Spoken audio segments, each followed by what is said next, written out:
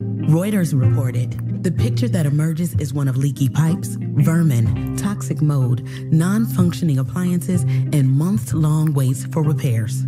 Private equity firm Blackstone Group is now the country's number one landlord, meaning they own more rental properties than any other institutional investor or mom and pop landlord in the country.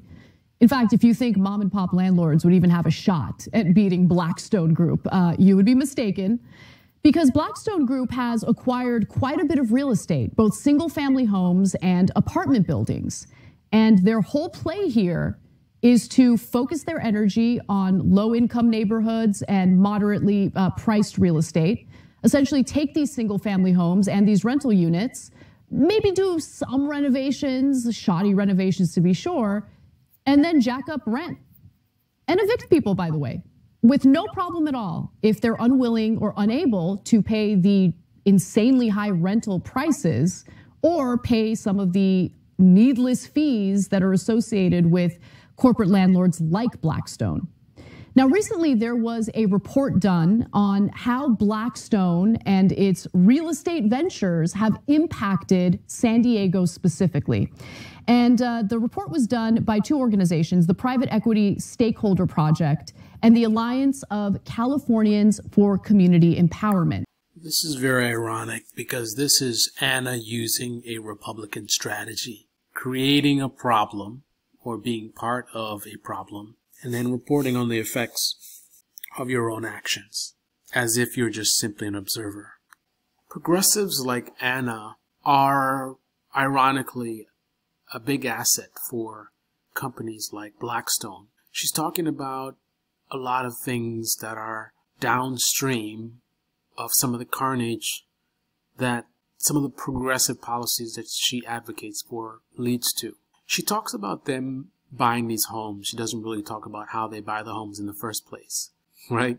Let's discuss how they get the homes in the first place and how Ana helps them. So Ana pushes this rhetoric that helps to enforce the class warfare. Put the middle class against the poor. Everything is about the poor. The poor, we got to keep them off the streets. Everyone should have a home, right? Look at these wealthy elites, right? Not referring to the 1%. She's talking about the 10%, the 5%, right? Middle class, upper middle class people who have enough money to be buying up multiple homes and buying a multifamily and then trying to charge people for rent. Right? These evil landlords. Right?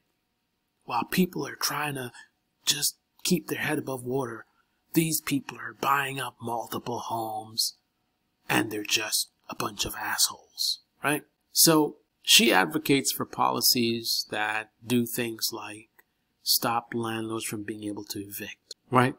which opens the door for people to basically take over other people's homes. You move into their home, you just decide you're not going to pay the rent, and the landlord can't do anything about it. And of course, Ana's not talking about this, right? She doesn't talk about the aftermath of the stuff she pushes for, right? She just wants to talk about, oh, we got to keep people, keep people off the streets, right? And then if they, they're able to uh, stop a thousand evictions. We stopped a thousand evictions. That's great news. Right? What happens to the homeowners who are just regular people? They're not one percenters. So they, they can't afford to pay their mortgages if they're not get, getting paid rent, right? They can't afford a fancy uh, attorneys like BlackRock can, right? It took me three months just to find an attorney that even knew the basic laws. That's what we regular people have to deal with. You can't even find legal representation that will actually do their jobs. So your attorney won't help you.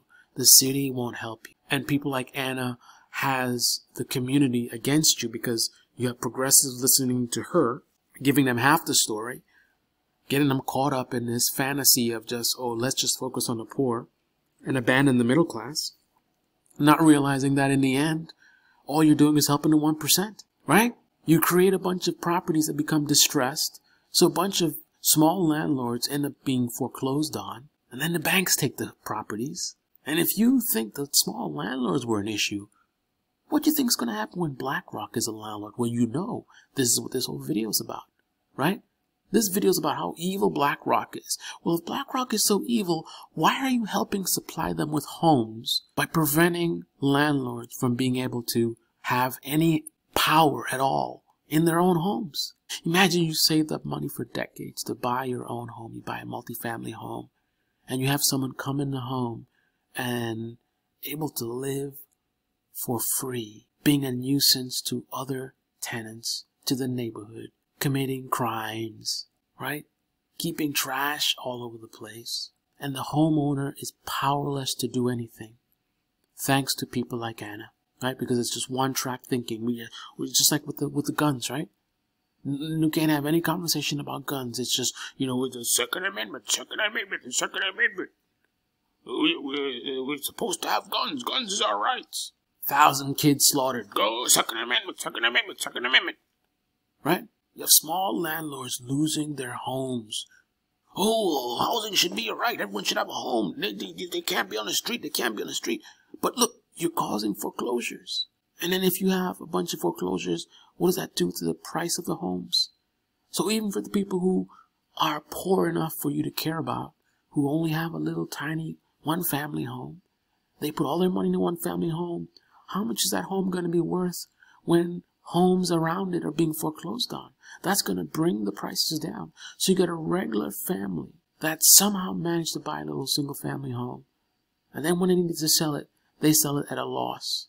And then you got the little small landlords who lose their homes, get foreclosed on. And then these corporate landlords come in off the back end and they scoop them up. And then you're going to cry about how they're slumlords. If you don't want the corporate landlords then stop abandoning the small landlords.